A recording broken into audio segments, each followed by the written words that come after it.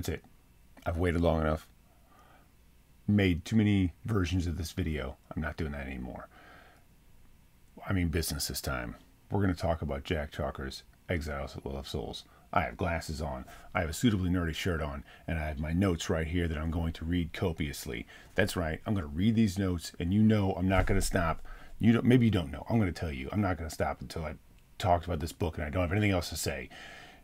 I don't know how long we're going to be here. You're not allowed to leave. Please. Jack Chalker, 1978, Exiles at the Well of Souls. This is a sequel to Midnight at the Well of Souls, which was written earlier. I can't remember if it was written the year before or whatever. I'll have the information on the screen because that's exactly that's the kind of accuracy you need. You don't want to hear it from my voice. You want to be able to look at the screen there, one of those places, all these places perhaps, and we'll have that information there. That now you know that information. I did a video on uh, Midnight at the Well of Souls. I liked it. That book is a high concept novel. The idea that there's a Markovian supercomputer, right? So let me. I guess I should talk about that because it's kind of a Although you don't have to have read that book to read this book, if you haven't read that book and you read this book, you kind of go, oh, what? Let me help you out a little bit. I'm going to help you out, slightly spoiling the first one. Not exactly. Actually, I'm not going to, it's not really going to spoil it. I'm just going to tell you what happens. So, whatever. What happens in Midnight, which is somewhat pertinent to Exiles. In Midnight, you had a character who was sort of like got trapped in the well world. The well world is this giant planet that is subdivided into all these hexes, and each hex is a different alien species, sort of. Uh, the hexes are organized in such a way that um, it kind of becomes improbable for one species to invade another hex, even though there's really no barrier usually, apart from just sort of like natural land formations. Sometimes there's no no barrier, but it generally is like not suitable to really invade very much. There's sort of like a, a lot of thought was put into who goes where. The um, southern half of the planet, at the from the equator south, is all like generally carbon based, like like you know, life forms similar to us, humanoid, I guess, not always humanoid necessarily, but very similar. And the northern half is like really weird stuff. So anything in the northern half of the well world gets crazy, basically. In that book, Midnight at the Well of Souls, these characters find themselves on that planet, and the Markovians had technology where they can sort of like do anything that they can think, make anything that they can think happen and be true and be true universally um, with the power of this computer. Oh, I guess the Markovians, Markovians are long extinct. And it's assumed that when they made this sort of technology, that other beings who would get to this technology would be evolved enough that they would be cautious about using it. And midnight, we get a bunch of characters who are seeking it out who are probably not deserving of that technology. They are not uh, intellectually and uh, I guess you would say uh, spiritually or whatever um, evolved enough to take advantage of that computer, you know, to sort of utilize its abilities. And when I say that it can do anything, it's like oh, I'll give you an example from Exiles because that's actually pertinent to the book that we're going to talk about. It is the book we're going to talk about, so that's why it's super pertinent. Um, at one point, the characters are the main character Mavra Chang is given a horse's tail. She's like transformed so that her body she's normal except that she has a tail of a horse. But anyone who's outside a certain area, which is like 80 meters or something along those lines, I can't remember the exact measurement, um, thinks that she's always had a tail and accepts that. Like it basically changes everyone's perception. So any change that happens by a Markovian computer doesn't just take place then. It isn't just like, oh, you're now you have a tail. It's like you've always had a tail, and everyone you've grown up your whole life thinking you had a tail, and it's just sort of it like rewrites the code of the universe, so to speak. smaller changes means smaller impact. Bigger changes have bigger impact and more risk. Okay. So that's the sort of problem that the Markovian computer can have. Now, in Exiles at the Well of Souls, we deal with Professor Zinder. Professor Zinder has like um, sort of like researched the Markovian technology and has sort of like figured it out. He's sort of like, okay, this. And so he's made a Markovian computer on a very small scale. It has a platform that something has to go onto, and he can make anything into anything else on that platform. Um, as long as they the, they can input enough data into the computer so it has a working knowledge of what something is and what something is going to be. For example, I think they make someone a centaur. I'm, you know what? Now I'm thinking about this. There's a lot of freaking centaurs in that book and in this book. I'm not really sure why. It, yeah. Anyways, I just, just now just talking about it, I'm like, oh yeah, he made him into a. Centaur. It was like the first thing that happened in this book in Exiles is he turned somebody into a centaur. I'm like, okay. not really sure why. A lot of centaur focus, right? Whew.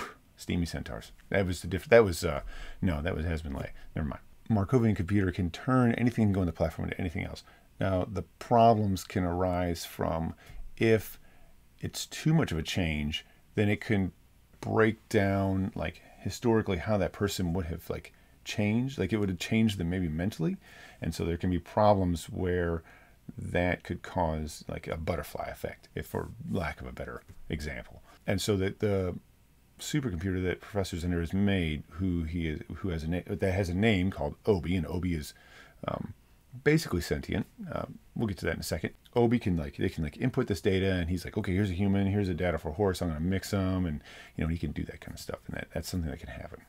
Okay, so that is the um, beginning of the story is, is that we have Professor Zinder who's made, who's figured out the Markovian, this sort of technology in a sense, on a very small scale and can do this thing. And he realizes as he's making it that there's a real problem with this because you can also make someone like always think that this thing was a certain way. So you could, for example, make somebody look a certain way and then everyone else will always think they look that way essentially rewriting their thoughts. And he realizes that you can do this in other ways that would be extremely dangerous. For example, getting someone in power and changing them mentally to think that somebody else is that they'll just do whatever they want, right? And which could happen.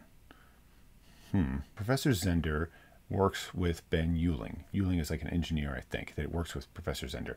Ben Yulin has ties to Antor Trelig, who's a very powerful political figure and also uh, a kind of like just on the DL uh, sponge syndicate guy. So he gets people addicted to this really, really ugly drug that once you start on it, it's like you have to have it all the time or you it literally destroys your intellect. Antor Trelig is uh, one of the big bads in this series, and so is Ben Yulin. Sorry for the surprise. It's not much of a surprise. That happens pretty damn early. Trelig leans on Yulin. Yulin kind of pressures the professor. Antor Trelig wants uh, the professor to move the OE project. The professor's not interested. They make him, they strong arm him into moving the Obie computer to Antor Trelig's uh, like private pleasure planet. It's not supposed to be private, but it is. Uh, New Pompeii. Enter Mavra Chang, our main character. She's like a pirate, a thief, and a spy she's hired by someone who is supposed to go and to uh, to Antor Trelig's New Pompeii planet and see this new thing, this new thing he's going to show everybody. Right? We, as the reader, know that this is Obie that he's trying to show off. So the woman does not know. So she hires Mavra Chang as like her emissary, like her stand-in, to go and find out what's going on. She knows that the professor uh, Zinder has been has gone there, and it doesn't make much sense that he is. She knows how bad a person Antor Trelig is, so she sends Mavra in to get the professor and his daughter out of there, and then find out what's going on. I'm I'm almost positive that this person does not know what's actually going on there. Neither does Mavra. Well, Mavra doesn't know, so yeah. Sound a little sound like a little uncertain. I'm not uncertain at all. I know exactly what happened. I read that book. I read the book twice there, so I must know. I want to say that, um, like a, quick, a real quick note here is that you know there's a large cast of characters in this book. There really is, and I am surprised that with this large cast of characters, you don't ever get lost in them. A lot of times you get books that just keep introducing new characters, and you're like, oh man, who is this? I just didn't have a problem with it. I just didn't. I mean, that's it's. I don't know if it's their naming scheme is different enough, or I think it's just that you're introduced to them and you get a little bit with them every time, so you really kind of like it solidifies their personality and they're and they're well handled. And Chalker just seems to do that very well. That's something I really like about him is he can introduce a lot of characters, and you just don't get lost in them. The characters are always um, important to one extent or another, but you just don't get lost with them. You know, like I have seen with other books where it just keeps bringing new people in. You're like, who the hell is this? I don't know who this guy is. So I like that. I appreciated it. I enjoyed it. The last thing to kind of mention in this sort of like brief like overview is that Obie is a supercomputer which is semi sentient, or perhaps it is sentient, and Obie has other plans. The uh, Antor wants to obviously weaponize to one extent or another this Markovian computer Obie, and Obie is not particularly excited about that. And actually, you get that impression very early on that Obie is not particularly excited about um, the machinations of Ben Yulin and his and Antor Trelig himself. I don't think I'm stretching anything too much or spoiling anything too much in that I say that these characters end up at the well world at some point, which is a um, so distant from human space as to be like um, insane, right? You know, we're talking galaxies and galaxies away, and I don't think that there's uh, quite that level of space travel. So the well world is like not a known location. The way that people generally get there is through a well gate. What's a well gate? My goodness, I got into all this. A well gate is sort of like this invisible portal that was left there that if you're in the right mental state and you're in the right place at the right time, it will transport you in and dump you into the well world. And if that happens to you, then you're made to go through a well gate. And if you go through a well gate, which you basically have to do when you show up on this planet, the computer, this Markovian supercomputer on the, the well world itself, which is a giant supercomputer, uh, the well world looks at you and picks one of these 6,000 something individual hexes where all these different alien species live, and it drops you in one, and you become whatever that thing that thing is. Uh, for example, in the last book, someone becomes like this sort of like tree like creature. Someone becomes a centaur. Yes. Someone becomes, uh, what else do we have? Uh, somebody becomes a mermaid, I think. Kind of like a, yeah, like a mermaid. Yeah, that's right. Yeah, they do. So, strange, as in the last book, uh, Midnight. So some strange stuff happens. So that's kind of like what has to happen. Like when you go there, that you're supposed to go through the well gate, that like reprocesses you. You alchemate yourself to that new body and the new society that you're part of, and the new mental state and all this other stuff, and you get become part of that world. That's a brief overview. Highlights. Uh, the first one is definitely Mavra Chang herself a really great protagonist. She's always moving the story forward. She gets caught in these difficult situations and she doesn't uh, muscle her way out and she doesn't just like instantly outthink everybody. She's definitely an intelligent person who's very good at strategy. She just sort of like like diligently does her best and it's she's very competent but she's not infallible.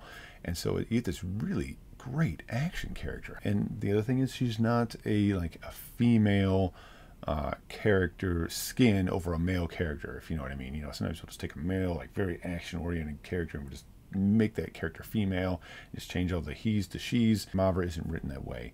Just a really good character, a really exciting. I mean, in fact, anytime the camera is away from Mavra, once she's introduced, you're kind of like, we need to get back to Mavra. The scene with Mavra where she's doing like some spy stuff when she goes to New Pompeii, those are some of the some of the best scenes I think of the book. Really good tension. I, you know, I just wish that we'd gotten a little more of it. It was we we got a decent amount. I just wished I'd gotten more of that. But just a lot of fun in general to see Mavra sort of get out of situations, and specifically those spy scenes, these sort of sneaking around thiefish type scenes that we have with Mavra on New Pompeii. I liked. They were good. And then the next thing that's really great, or I guess you could say is great, is Ben Yulin and Antor Trelig are villains that you love to hate. Man, oh man. These guys, it doesn't take very long for you to realize that like they're both very conniving and nasty, and you and you kind of get a little apprehensive anytime they get close to a character you like. You're like, man, these guys are so devious. They're going to do something terrible. Um, there's some especially good scenes with them that feature them where you really, really dislike them. Like, man, I hate these guys. you know, and the, and the thing is that they're not only that, they're um, they're also very intelligent, and so you kind of get like a little like mm, confounded or kind of uh, irritated because you're like their, plans, or their uh, their scheming is so far thinking ahead. They're, they're intelligent enough that they can plan far enough ahead that it's really difficult for someone to get a one up on them. The upside of that is that they're always also sort of looking at each other and waiting for the other one to sort of knife them in the back. Uh, there's some great scenes there with those two kind of like looking at each other saying, What are you going to do something I don't like? I don't, I don't trust you. Like the previous book, you get a lot of different alien cultures and variety. Chalker is a really great skill at sort of introducing something new and interesting, giving you the highlights, keeping you interested, and moving the story along. Knows how to strike a very good balance there. And just like in Midnight Chalker does a great job, just an excellent job of like when a character goes through a Wellgate and they find themselves transformed for like sort of like describing that transformation or or at least that character sort of coming to terms with it like discovering who they are what they look like how they are how they function how they think differently how the society they just got reborn into uh, functions and how what that means to them and how the, in, in some cases for example, like Antor Trelig, how they can exploit it. And for other characters, sort of like how maybe even here they're a bit of an outsider. It is a very good streamlined version. It has a bit, well, the whole book has a, has a tinge of 70s sci-fi. I think it goes without saying that if you're going to read any of these Barlowe's books, especially some of them, this is one a little bit, that you're going to have to kind of like science fiction from the 70s. If you don't, it might be a hard pill to swallow. That should probably be in a different section. I put it here anyways because I knew you couldn't wait, and that's I guess I've used that joke twice, and I don't care. So the lowlights for this story, um, any time that the camera turned away from Mavra and followed one of the other characters, I found almost all of them less compelling. Even the ones that were even like Antor and Ben Yulin, who were not great, I just did not find them as interesting as Mavra. I just really was like, okay, this is fine. I will be glad when we get back to Mavra. Those other characters, their sections are written well, and their story moves well. It's just that I found Mavra to be such a uh, I don't want to say electrifying, because that makes it seem like she was always doing something crazy and dynamic. It's just she's just kind of like always advancing the story, always moving forward, it seems like. And so there's times when the camera's away from her, and there's also times where it feels like she's a little bit sidelined because of uh, uh, whatever, other events, I guess you could say that I wasn't real happy about. I just was kind of like, we need to get Mavra back to where she can do stuff because it's fun when she do. When she does stuff, you get interested. At least I did. So um, I'm going to say you will too because uh, I think that yeah, yeah, sure. We you know we got a thing, you and me. So we're probably the same way. Some of the aliens here are really just this sort of like 70s reimagining of fantastical creatures from myth as science fiction creatures. Um, in the last book, centaurs were one of them. In this book, you get like a um, minotaur, uh, and I think there's a, something else too. It's just not occurring to me. I'm okay with those. I think that was a real novel idea in the 70s. Like, oh, like we're gonna take this like creature from myth and we're gonna like imagine it in like today's like what if it was a science fiction creature? How would it really work? Or like what would society be like? And they the idea that sounds cool. I don't know. As like it probably was in the 70s, it seems like it's a very novel idea that it doesn't hold as much water as it used to. Uh, at least for me. Maybe if somebody new to it will think it's neat.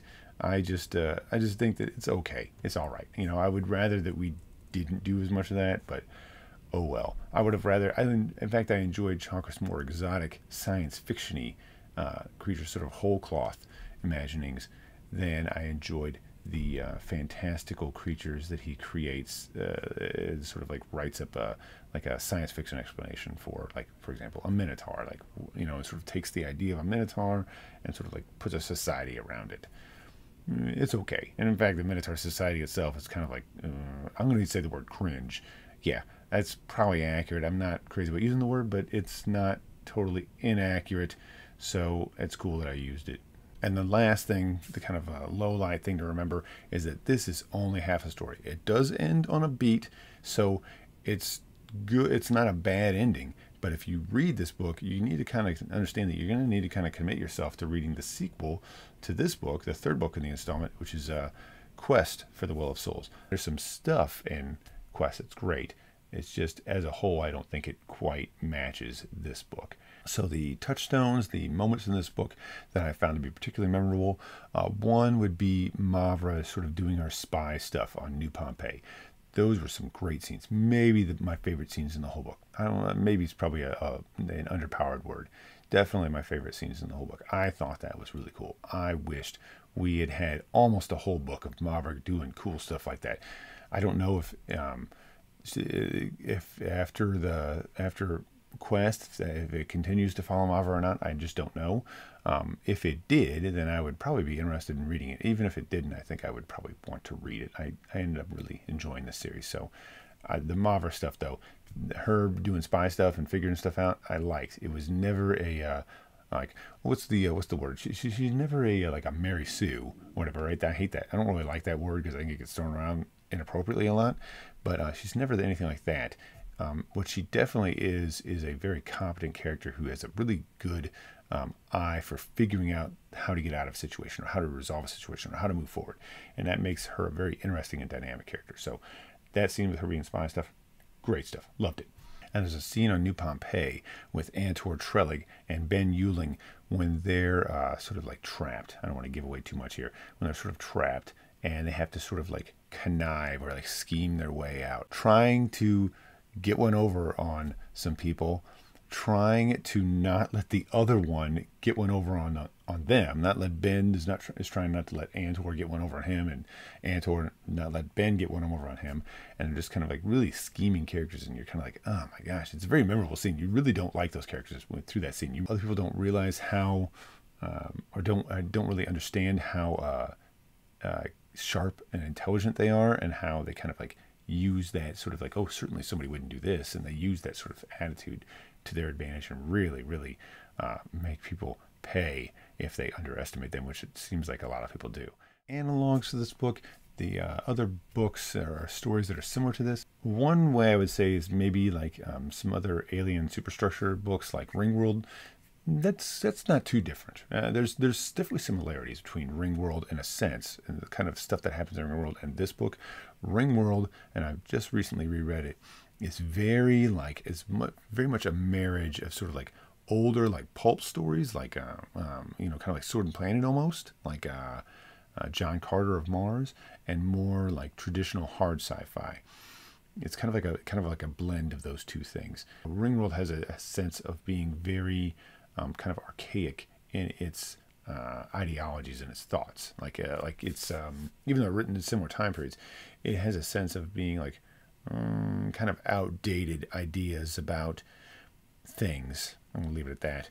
Whereas a well world feels a lot more progressive in a sense. It feels like I think that it's aged a whole lot better than Ringworld has. And I think the the Chalker in, in general, in the, in the three books I've read of his, always seems to be his stuff seems to be slightly progressive. I don't really know his stance on a lot of issues, honestly, but the way that he talks about things and the time that he takes to to not say certain things make me wonder. Possibly, although this seems a seems like a stretch when I thought of it, but it's more of a stretch now than when I thought of it, which is uh, China Miéville's Perdido Street Station. And the reason I mentioned that one is because of sort of like all these bizarre sort of um, uh, kind of like uncomplimentary cultures existing in very close space to one another. And that's what Perdido Street Station is very much like. And this book is very much like that. Different, like little like countries almost of like alien species, all right next to each other and interacting with each other, and weird things happen. Uh, so you get a very diverse and interesting cast that way. And so it kind of reminds me in a sense of that.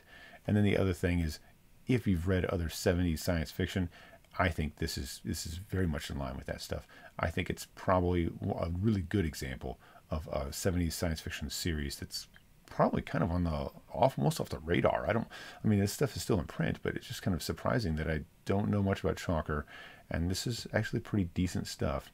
I see a lot of people say that they've read this book, this series, and they went back and thought, "Oh, it wasn't as good." And I'm like, actually, when I read, I read this book in particular twice because I read it once, was going to do a, a video, did a bunch of videos, like three or four, and didn't do anything with them.